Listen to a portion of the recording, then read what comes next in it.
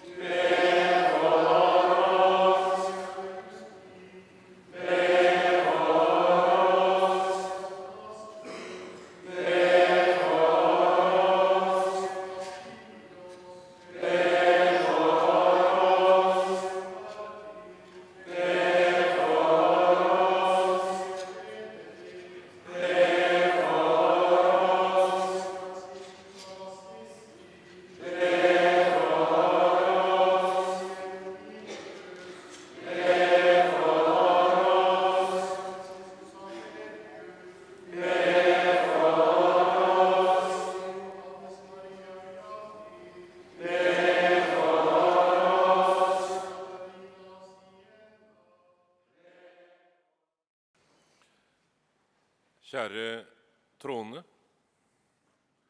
En kirkevigsel er alltid en gledens dag.